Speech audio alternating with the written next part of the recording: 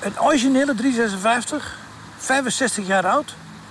In de eerste lak, eerste bekleding, eerste vloermatjes. Kijk, in 2015 heb ik hem nog gekocht. Uit Amerika.